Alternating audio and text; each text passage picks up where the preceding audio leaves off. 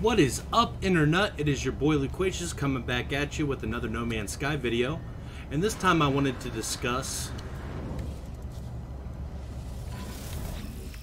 the bobbleheads. Alright, so as you know, it's a cosmetic appearance upgrade that allows you to have a bobblehead inside of your ship. There's my polo right there. And, but each of them also gives a bonus, okay? Now all these bonuses stack, and uh, a new thing, a new thing with the uh, jet streams that just come out, they have a connectivity with the polo figurine to give a larger bonus, but uh, I don't have one yet, so I haven't actually added that into here. But each one of these is a stacking bonus. The Nada figurine improves your uh, launch thrusters, fuel efficiency. The Atlas figurine improves your hyperdrive range, and the Polo figurine improves your maneuverability.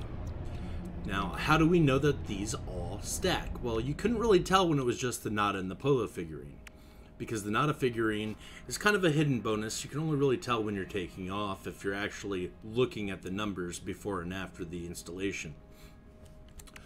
Now, with the Atlas and the Polo figurine, it's a lot easier to tell. Okay?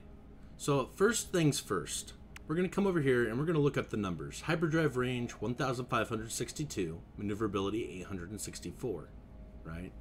So if I take off this polo figurine, it drops my maneuverability down to 854. Take off the Atlas figurine, drops my hyperdrive range down to 1512.